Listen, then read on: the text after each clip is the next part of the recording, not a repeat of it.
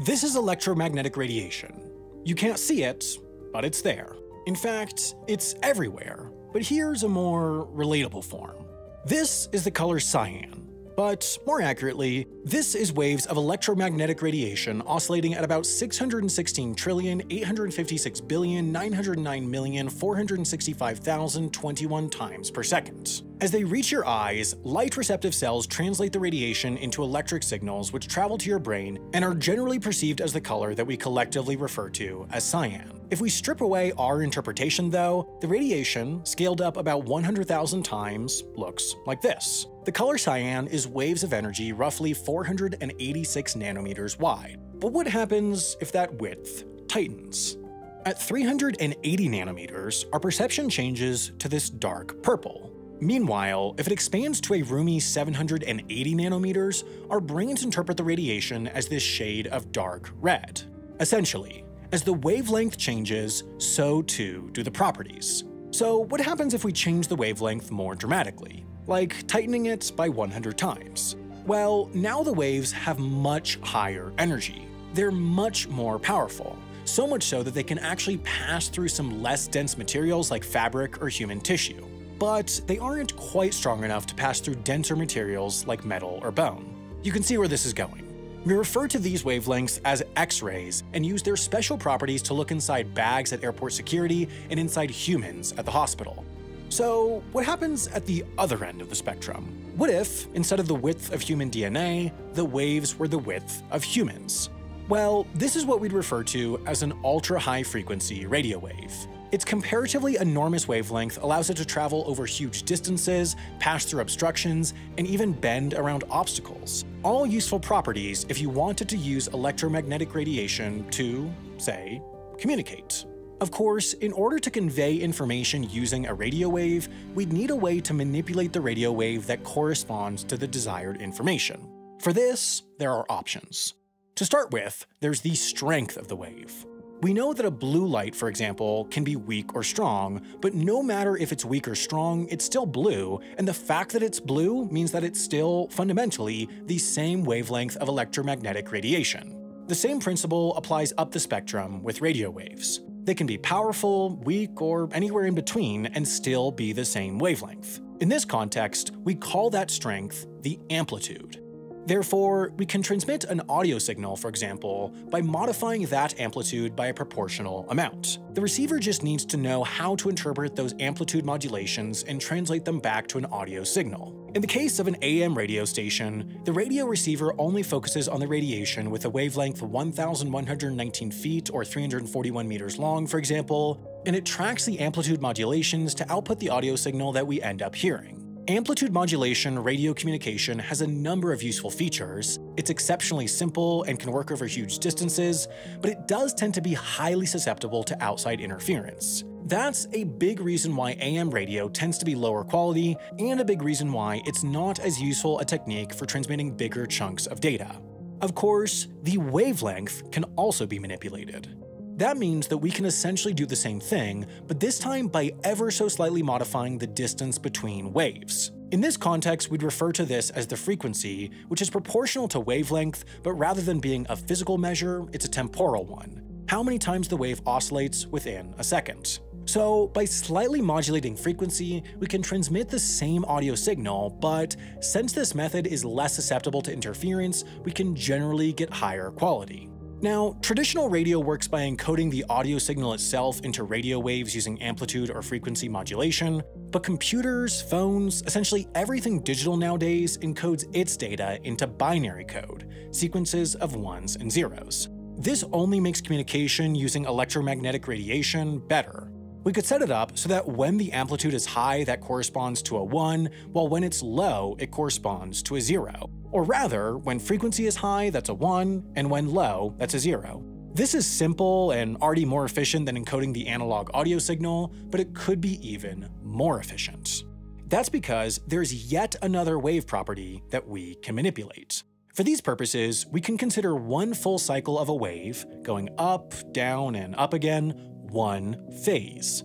But we can also consider this, the wave going down, then up, then down again, one phase as well. Therefore, we could assign this upward phase to the binary digit 1, and this one, the downward phase, to the binary digit 0. Then, we can transmit data using a sequence of these different phases. The transmitter doesn't need one phase to seamlessly go into the next, so it's an even faster, even more efficient way of encoding binary sequences into electromagnetic radiation.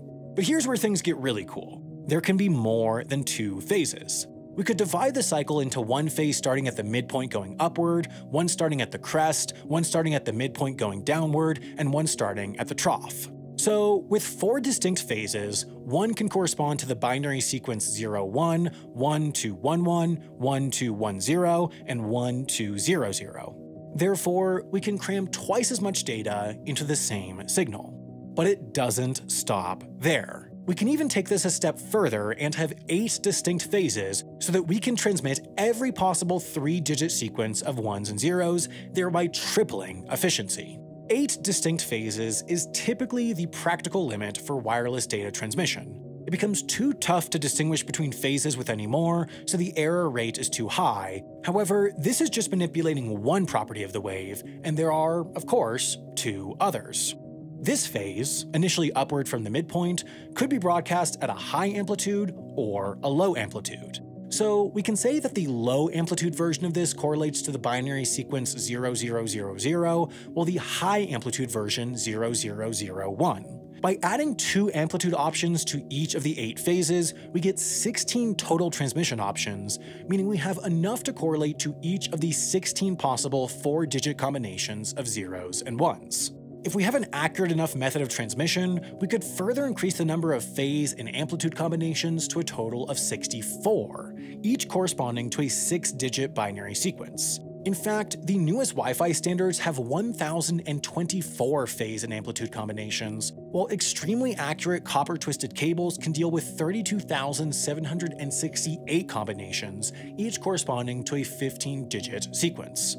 Constrained by the accuracy of wireless communication, your cell phone, meanwhile, uses as few as 16 combinations in the case of some 3G networks and as many as 1024 in the most advanced 5G networks. Fundamentally, though, this is how your cell phone gets a lot of data out of a little slice of the radio spectrum. Of course, transmitting data is only half the battle. Something also needs to receive it. That something is, of course, a cell site.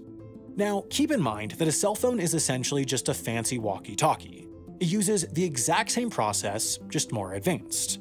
In fact, the earliest portable phones, car phones, were just one step removed from walkie-talkies. A telephone company would set up a radio transmitter in a city, users would install a bulky system in their car, the system would communicate with the transmitter just as a walkie-talkie would, and the tower would then plug the signal into the landline network. Put another way, it was just a citywide version of cordless landlines. The only difference from walkie-talkies was that these car phones would have a dedicated channel for outbound transmission and a dedicated channel for inbound transmission so that both sides could talk simultaneously, unlike with a walkie-talkie where one needs to wait and push to talk since only one channel is used. These car phones were fairly similar to today's cell phones from a user experience perspective, but they were horribly inefficient. In their early days, there were only 32 available channels, meaning only 32 people in a city could use their car phones simultaneously. In addition, if one left the service area of that one tower in their home city, their car phones wouldn't work.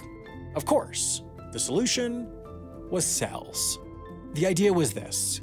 A given area would be split up into a pattern of hexagons. At the center of each of those hexagons was a cell site, these are generally thought of as cell towers, but that's a misnomer since cell sites can be located on buildings, inside church steeples, at the tops of mountains, or really anywhere that's elevated relative to the typical user.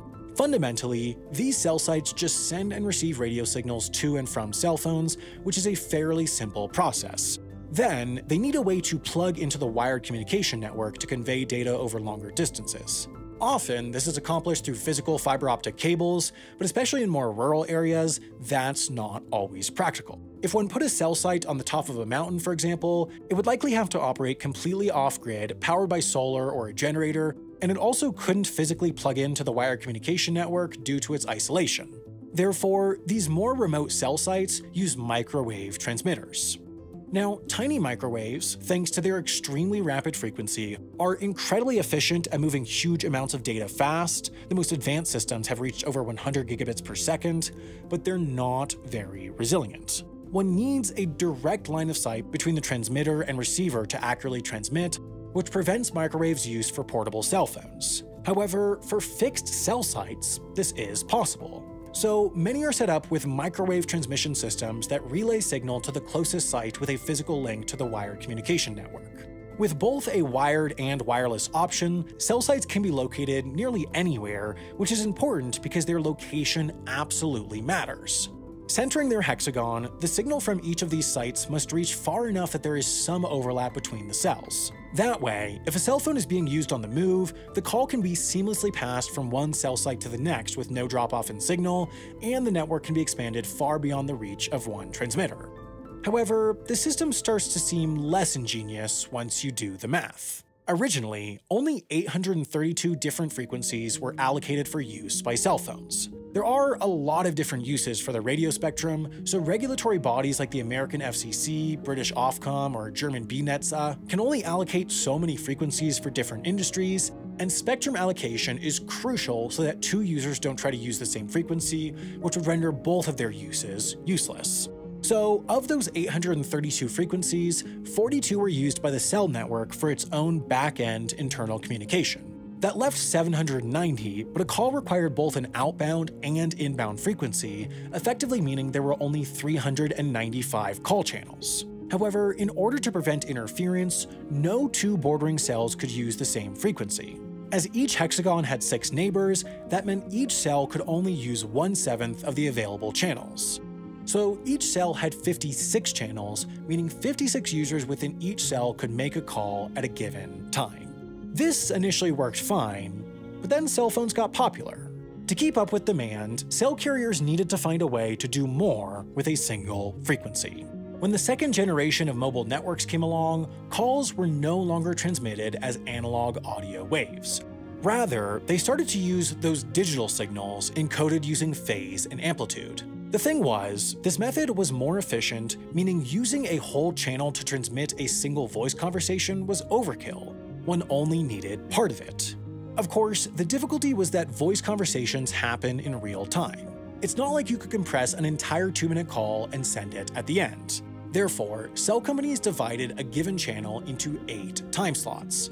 These time slots would rotate one after another in rapid succession, and a given phone would be told to use, say, the third time slot. So each time that time slot came up, it would fire off its ones and zeros quickly, then wait for it to come around again, but because the data was compressed into an efficient digital signal, the amount received during a time slot would be enough to decode into enough of the conversation to play until the next time slot came up.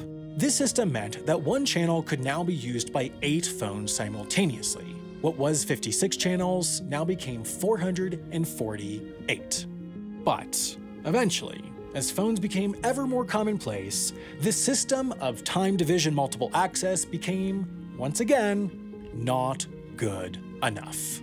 The next evolution was where things got complicated, but also fascinating. It's called Code Division Multiple Access.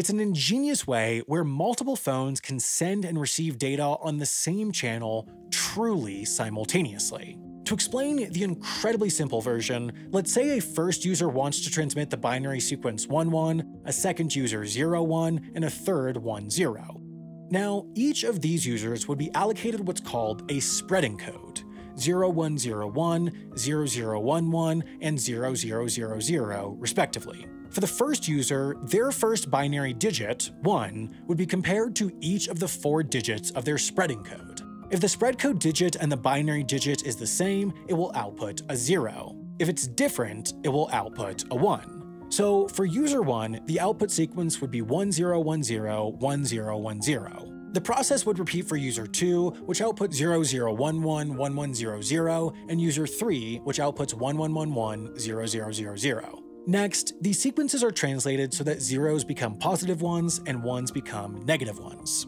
Then, each digit of the three sequences of numbers are added together. That outputs the composite sequence negative 1, 1, negative 3, negative 1, negative 1, 1, 1, 3. This composite sequence is what is then transmitted using a single channel. Now, the exact details of this process are not tremendously important, but what is, is what happens next. What happens next is that this process is reversed. So the receiver of that composite sequence would know each user's unique spreading code. The spreading code is also translated so that zeros become positive ones and ones become negative ones, and then the receiver multiplies the composite sequence with this translated spreading code. For user 1, that outputs negative 1, negative 1, negative 3, 1, negative 1, negative 1, 1, negative 3. Now, the first four digits of this sequence, which we know correlate with the first digit of the data, are added together to get negative 4, which is then divided by 4 to get negative 1. The process repeats for the second set of 4 to get negative 1. Now, if we translate this back so that negative ones become ones and positive ones become zeros, then we get the data sequence 1, 1. With just the composite sequence and the unique spreading code, this process figured out what user 1's unique data sequence was. If we repeat this entire decoding process with user 2's spreading code, we get 1, its data sequence, and unsurprisingly, it also works for user 3. So with one composite signal and three unique spreading codes, we are able to triple up the use of one channel. In practice, this process works at a much larger, much more complex scale, but it uses these same mathematical principles. This, fundamentally, is how cell service works. Making a two-way radio work for one person is simple. Making a two-way radio work for everyone in the same area at the same time is difficult. It's all about packing as much data as possible into a single transmission, and then packing as many transmissions as possible into a single radio wave. The aforementioned techniques to accomplish these two goals are only the tip of the iceberg. Many of the most advanced networks have moved on to a system called orthogonal frequency division multiple access to pack even more transmissions into a single wavelength, for example, but they are indicative of the process that got us to today. When we move from 3G to 4G and 4G to 5, what's happening in the background is incredibly smart people finding more and more ingenious methods of transmitting more data using these same resources, also that we, the end users, can browse Twitter and watch YouTube just ever so slightly faster. Now that this video's over, I am extremely excited to announce that in just two weeks, we'll be releasing our first ever feature-length documentary. It's called The Colorado Problem, a River in the Red. Never before have I been more surprised that a story isn't covered more. The Colorado River, the river that single-handedly supplies water for the entire desert region of the American Southwest, is becoming smaller and smaller and smaller each year, and the reserves are almost gone. Put another way, in much of Utah, Nevada, Arizona, and California, people need more water than they can get. Our documentary covers what led to such a cataclysmic problem and the harsh reality of the future for the American Southwest. You'll be able to watch it on either CuriosityStream or Nebula when it releases on February 8th, but of course, if you're not currently a subscriber of either of those streaming services, the CuriosityStream Nebula Bundle deal, available on sale now for less than $15 a year at curiositystream.com slash wendover, gets you access to both. CuriosityStream has a huge catalog of top quality nonfiction shows and documentaries, while Nebula is the streaming site founded by creators, including myself, to act as the best home to the stuff we make. It features all our normal videos early and ad-free, occasional exclusive behind-the-scenes and companion videos, as well as the big-budget Nebula originals that many of you know so well. So make sure to block off 90 minutes on February 8th to watch the Colorado problem, and if you haven't already, head to curiositystream.com slash wendover or click the button on screen to get both Nebula and CuriosityStream for less than what you pay for a month of the largest streaming services, and you'll be helping support Wendover and tons of other independent creators while you're at it.